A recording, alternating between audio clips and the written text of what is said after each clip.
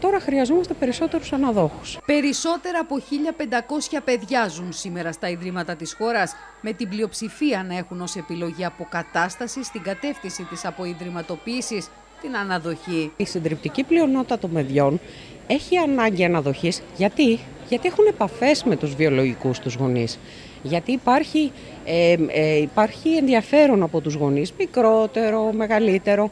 Άρα λοιπόν δεν είναι δυνατόν να προχωρήσουμε σε τεκνοθεσία. Ποια όμως είναι η πρόθεση των υποψήφιων γονέων; Ένα ζήτημα που έχουμε ανάγκη είναι η προσέλκυση ανθρώπων που να ενδιαφέρονται να γίνουν ανάδοχοι, να ενδιαφέρονται να φροντίσουν ένα παιδί, χωρίς οπωσδήποτε να θέλουν να το κάνουν δικό τους. Σύμφωνα με τα επίσημα δεδομένα του Εθνικού Κέντρου Κοινωνικής Αλληλεγγύης, από τα 1564 παιδιά που ζουν στα Ιδρύματα, για 711 το σχέδιο οικογενειακής αποκατάστασής τους είναι η αναδοχή ή η υιοθεσία.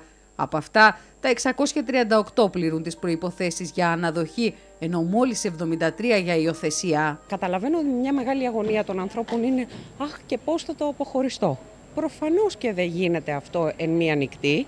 Προφανώς και η βιολογική οικογένεια είναι πάντα παρούσα στο, στην αναδοχή.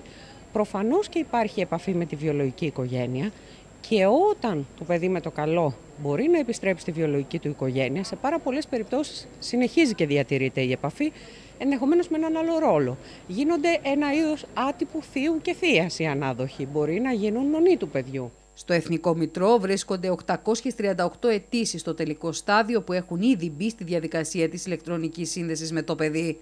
Από αυτές, μόνο το 1,55% αφορά σε αναδοχή. Ζητούμε τους ανθρώπους μεγαλύτερο ενδιαφέρον να γίνουν ανάδοχοι, να ανοίξουν το σπίτι τους σε παιδιά, ανάδοχοι παιδιών με αναπηρία. Υπάρχουν φοβεροί δράκοι και μύθοι ότι κάπως είναι τα παιδιά με αναπηρία. Δεν είναι. Είναι παιδιά που όταν τους δοθεί ο χώρος, ο χρόνος και το ενδιαφέρον, αναπτύσσουν πάρα πολύ τις ικανότητές τους. Δικαίωμα στην αναδοχή έχει κάθε πολίτης, ανεξαρτήτως φύλου, θρησκείας, οικονομικής και οικογενειακής κατάστασης ή σεξουαλικών προτιμήσεων. Η μόνη προϋπόθεση είναι να είναι έτοιμος ως ανάδοχος γονέας να φροντίσει, να προστατεύσει, να εμπνεύσει να σταθεί δίπλα στο παιδί. Δεν θέλουμε ούτε πολύ σπουδαγμένους, ούτε πολύ πλούσιους. Θέλουμε ανθρώπους με ενδιαφέρον και διάθεση να προσφέρουν και διάθεση να συνεργαστούν με τις υπηρεσίες, γιατί σε όλη τη διάρκεια επίσης της αναδοχής οι υπηρεσίες ήταν εκεί. Θα τους βοηθήσουν και στα δύσκολα.